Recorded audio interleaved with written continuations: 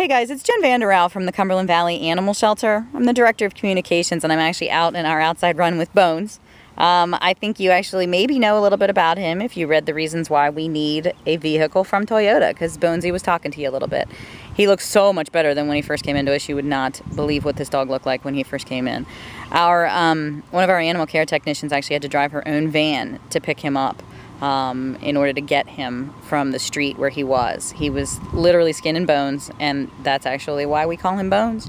And a vehicle would just be phenomenal for us for the work that we do when we pick up strays, for the work that we do with situations like hoarding situations um, where we have multiple animals, and also when rescue organizations come to take animals for us. It would be really easy and a lot easier for us to be able when we have to drive them to the rescues to have an to have a vehicle. So Bones wants to play. he was very excited about the ball. And I figured one of the best ways to tell you our need was to let Bones tell you our need.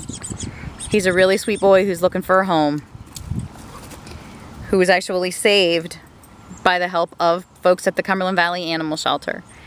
And all you need to do to help us help him and others like him is simply click on Facebook and help us get that vehicle.